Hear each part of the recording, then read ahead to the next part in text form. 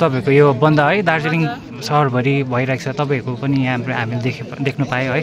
तपाईँहरू यो कस्तो पाराले गर्नुहुँदैछ यहाँ मान्छेले कति कोअपरेट गर्दैछ तपाईँलाई है? के त्यसको विषयमा भनिदिनुहोस् यहाँ चाहिँ चिया श्रमिकको बिस पर्सेन्ट बोनस चाहिँ अब दिनैपर्छ भन्ने हिसाबले हाम्रो सम्पूर्ण पाहाडको सम्पूर्ण ट्रेड युनियन सम्पूर्ण पार्टी आठवटा पार्टीले सबैले मिलेर यो आजको बन्द चाहिँ डाकेको छ। श्रमिक वर्गको हितको लागि हाम्रो श्रमिक वर्गहरूले बिस पर्सेन्ट वर्षभरि कमाएको पर्सन्टेज यसो पूजा बोनस पाउँछ कि भन्ने आशाले गरेको थियो। त्यो सबै तिन चारपल्ट मिटिङ हुँदा पनि सफल नभएको खण्डमा आज चाहिँ हामीले बन्द सम्पूर्ण पाहाडको ट्रेड युनियन साथै राजनीतिक दलहरू मिलेर यो बन्द डाकिएको छ।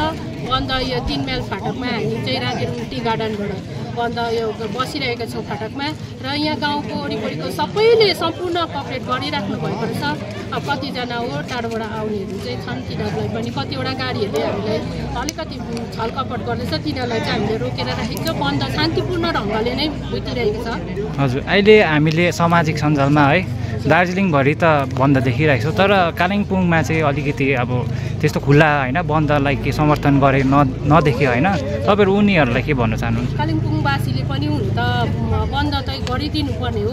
किनभने कालिम्पोङमा चाहिँ अलिकति टी गार्डन कम्ती मात्र भएको हुनाले गर्दाखेरि टी गार्डन क्षेत्र कम्ती मात्र भएको हुनाले हो कि के कारण हो उनीहरूले चाहिँ अब बन्दमा अलिकति असर देखाएको छैन कालिम्पोङमा चाहिँ।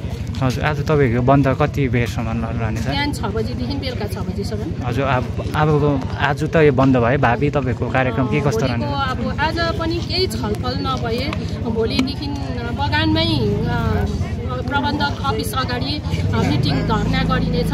तर बन्द पूर्ण रूपले होइन लेबरहरूको रोज चाहिँ लाग लागिनुपर्छ। भोलिदेखि चाहिँ त्यो आह्वान गर्नुभएको छ। अब के हुन्छ त्यो नै छ। एकछिन नगरिदिनुहोस् हामीलाई अब हामी छ बजीसम्म केही हल्लिँदिन पनि कसैलाई कसैको कुरा नि सुन्दैन बिमारी बिमारी रहेछ ढुक्कै गाडीमा बसिरहनुहोस् न आराम गरिरहनुहोस् गाडीमा। ल प्लिज तपाईँहरूको